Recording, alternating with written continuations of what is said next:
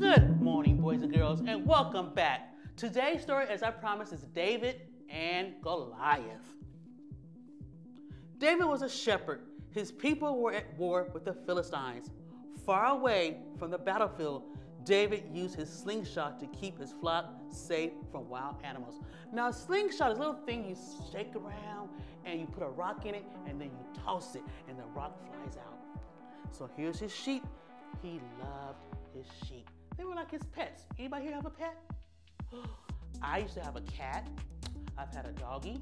I've had guinea pigs. I've had hamsters. Any of you have pets before?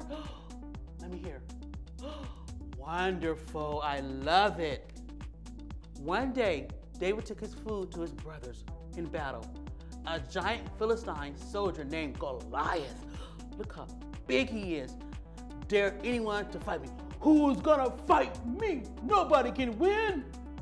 David says, I will. David got his slingshot, rolled it around, took the stone, and it hit Goliath right in the forehead, and Goliath fell down. And the battle was over. All right, boys and girls, thank you for listening.